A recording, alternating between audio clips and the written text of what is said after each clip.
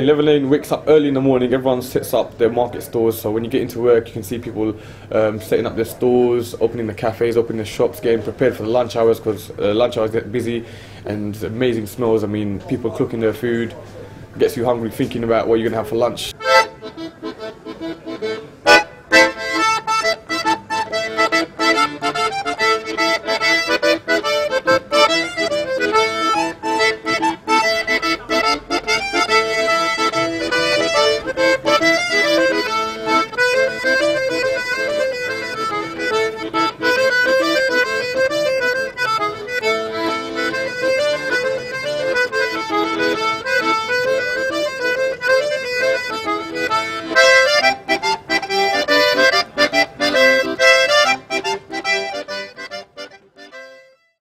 Very important thing not to forget about Leather Lane Market is that it's one of London's very oldest street markets. It goes back to the late 16th century. One theory is that it's from a woman's name, an Old English woman's name, Leofrun. Um, another theory is that it's um, from an Old French word for a greyhound. Um, the most likely is it's from an Old Flemish word um, Lovrun, which uh, means something that's in English is called a soak. Uh, so eventually the, the name changed from Lovrun to Lither and finally to Leather. When the market first started, um, the area had gone downhill a bit from how it had been before. It was probably more pleasant, a lot of fields, it was countryside.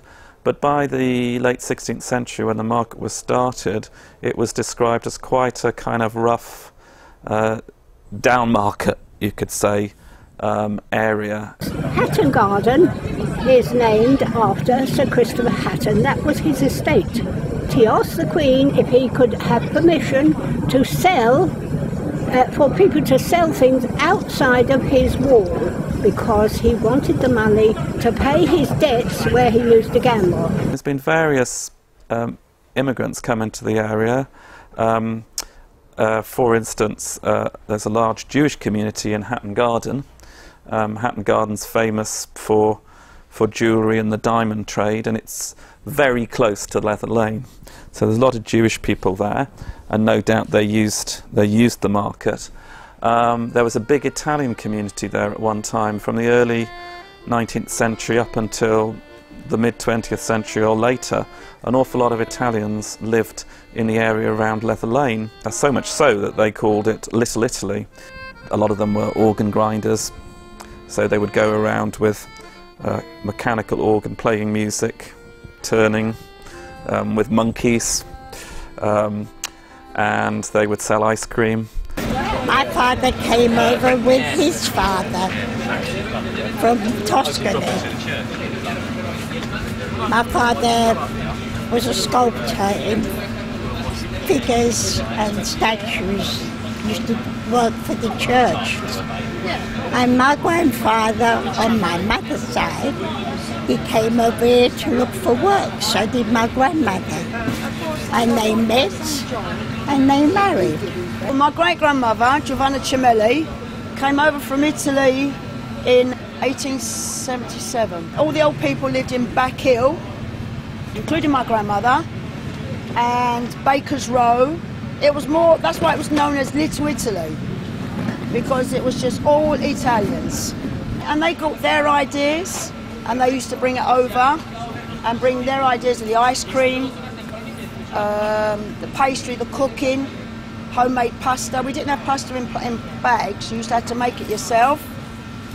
In fact, the Italians, they never called it Leather Lane. They used to call it the Lane. A lot of streets around here were heavily bombed, and some parts of Leather Lane were, some of the buildings in Leather Lane were written off. In some, if you look at maps showing bomb damage, you'll see um, some parts there was total destruction. The Laustar sweet shop on the corner there, it got bombed. Then his mother-in-law and father-in-law had a sweet shop up there in Jacobs. That got bombed and that's how Johnson and Matthews built there. I used to work on the asphalt with a friend of mine and there was no work about, and he says to me, come down and help me um, put the stalls out. And that's how I first started. And I went on from there. I used to have two stalls here. One was a fruit stall and one was a salad stall. And we used to work, seven of us used to work here. My father worked in a factory. He used to make ladies' coats. But I didn't like that. I started there when I was a boy and I used to go in there in the morning and it was dark.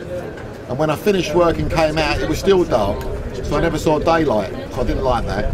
So I said to him that I'll take some of the coats and go down the market and sell them down there. And that's how I started. You had to wait a lifetime, literally a lifetime, to get a stall in this market.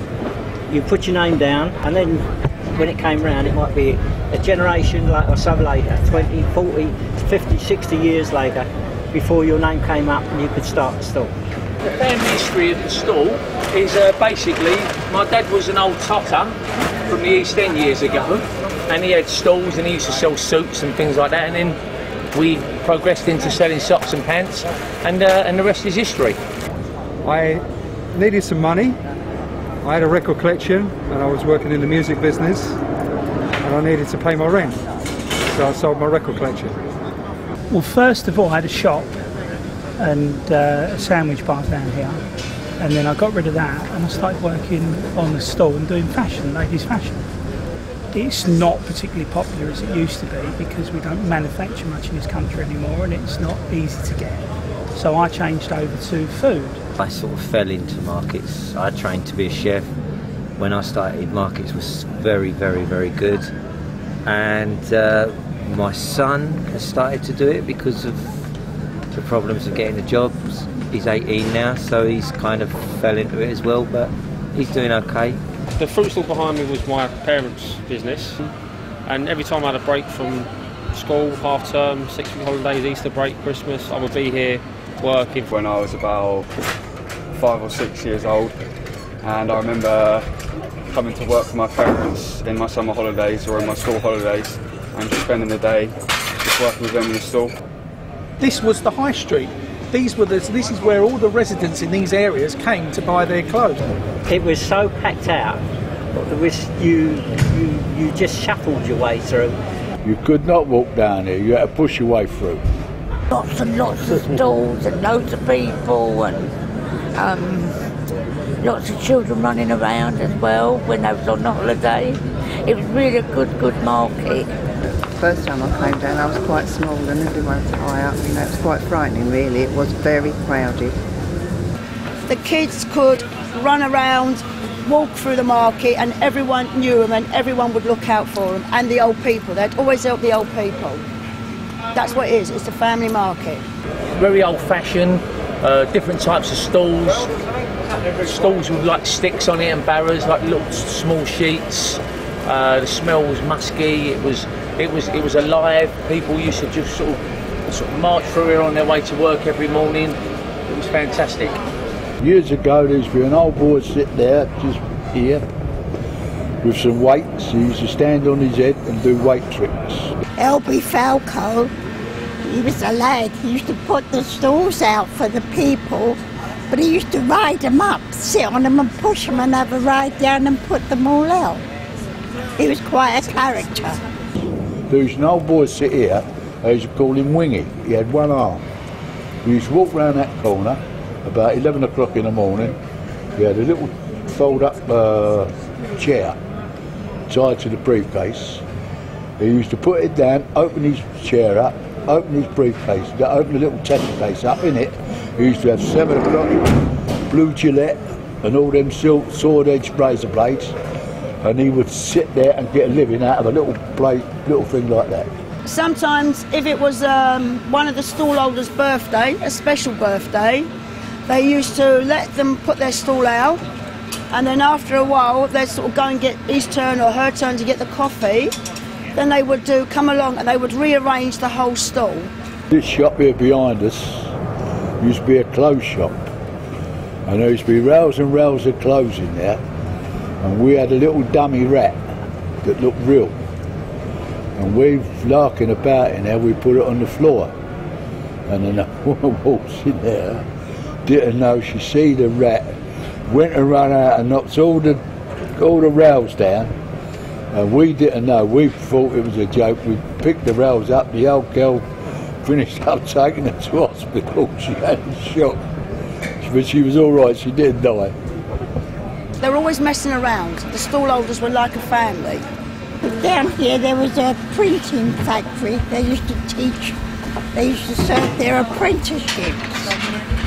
And when they pass their apprenticeship, they used to put them on a barrow and dress them all up, pour paint over them and water, and then they'd run them up and down the, the lane. I saw this um, fig that was rolling along the ground, and it looked like a perfectly good fig.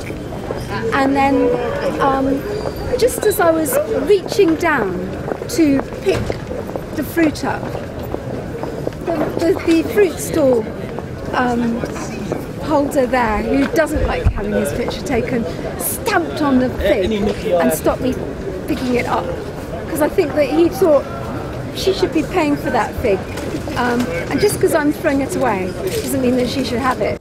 In more recent times, you've got immigrants from the Commonwealth who would be using the market and working at the market. When we first started, no one knew what a mango was. No one knew what peppers was. No one knew what aubergines was, okra, and all that type of funny food that comes from abroad. No one knew what it was. And then when we started selling it in the Prudential, used to be loads of black ladies doing the cleaning. And they used to line up here on a Thursday and Friday and literally take bags of it home.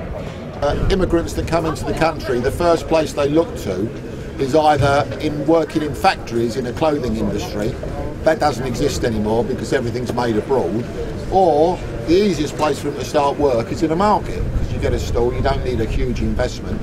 And that's where a lot of immigrants start working. I mean, I've seen this market be predominantly Jewish people, then predominantly Turkish people, and Asian people. But there's always been a mixture of, of everybody because the streets are for everyone to work.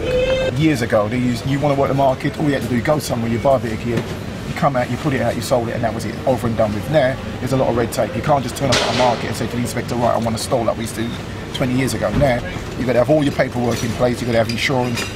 Where years ago, a lot of immigrants would have come into the market, it's now a lot more difficult for them to just turn up and start working the market. Post-war times, the 1950s and 1960s, you've got a lot more office workers um, based in the Holborn area. Um, so they would use the market a lot at lunch times when they were on their lunch break. And so, so much so that Leather Lane became one of the most um, popular lunchtime markets in London. At the time, there were no computers, so all the girls were typing, and there was typing pools. So at lunchtime, you had literally thousands and thousands of people coming out of there to walk down into the market. Those people are not there anymore because those, those jobs don't exist. A lot less busy than it used to be, and it tends to be mainly office workers at lunchtime. People don't tend to do their shopping there anymore. They buy bits and pieces, and if they're out at lunchtime, they'll go and get a snack and they might see a bargain, but they don't tend to go there for shopping anymore. We started a campaign called Leather Lane Stars,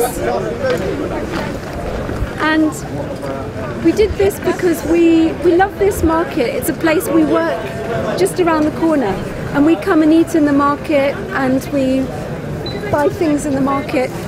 And we noticed that the market was shrinking. What we wanted to do was to encourage people to support the market because right now there's a danger that it shrinks so much that it um, disappears altogether.